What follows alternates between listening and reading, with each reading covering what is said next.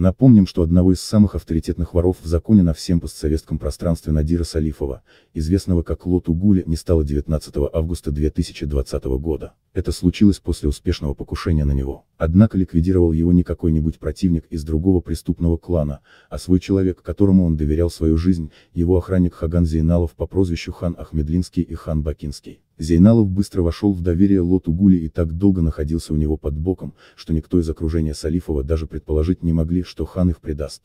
Что подтолкнуло Зейналова для ликвидации Лоту Гули? Как заявил на допросах сам хан, он никогда не любил Надира Салифова. Однако такие показания являются достаточно сомнительными. Даже если это так, то это не должно было послужить поводом для произошедшего. Авторитет Лоту Гули был настолько огромный, что просто так его убрать это означает открыть себе дорогу на тот свет. Другой причиной правоохранительные органы и соратники Лоту Гули называют то, что Зейналову заплатили за ликвидацию Салифова 5 миллионов долларов.